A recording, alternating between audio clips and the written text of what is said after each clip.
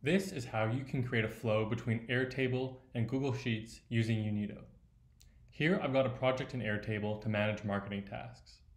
How we want this flow to work is that any record in this base is synced over to Google Sheets, which is what teams who aren't in Airtable will use to check on project progress. I've already synced over all that historical data, which you can see here, but we'll show you how the flow works when we add a new record. I'll add a task title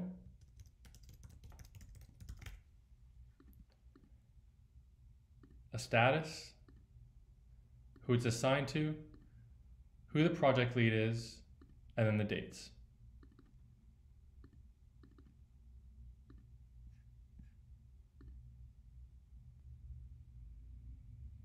We can see now that the new record has appeared, including all those details.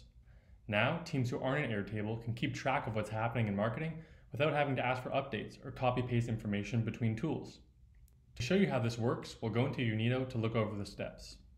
The first is to connect your two tools, Airtable with Google Sheets. And within Google Sheets, you need to configure a very simple add-on for the flow to work.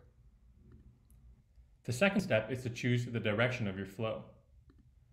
I've chosen one way here since I only want records to go from Airtable to Google Sheets.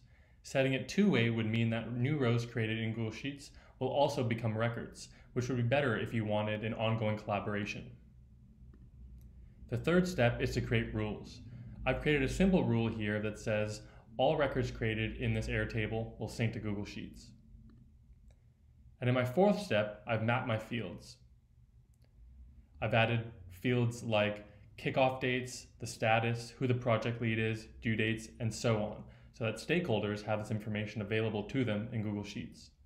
And as these fields change over time in Airtable, they will update in Google Sheets, so the status of work is always accurate.